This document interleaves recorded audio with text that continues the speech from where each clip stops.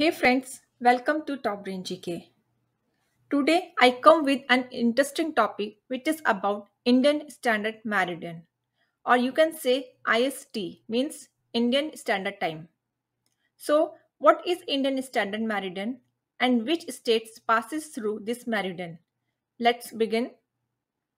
Standard Meridian is a longitude which is used to describe time of a country.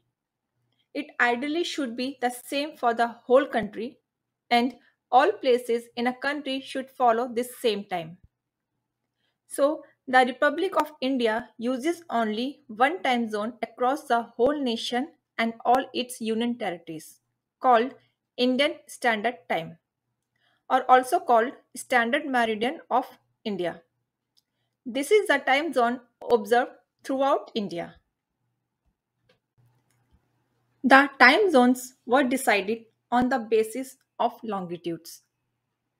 India stretches around 3000 km from east to west, spanning roughly 30 degrees longitude, and the local time at each longitude is different.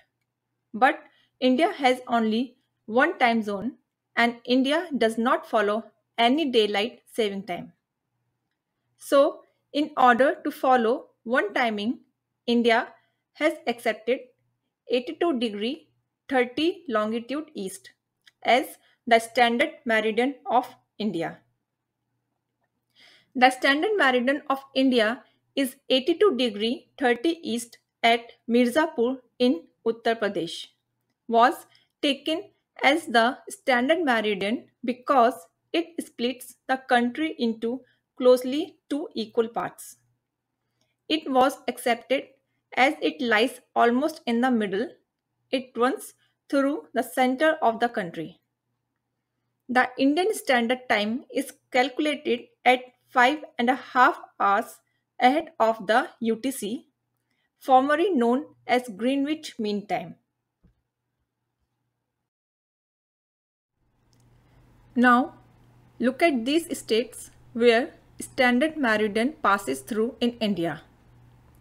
These are Uttar Pradesh, second Odisha,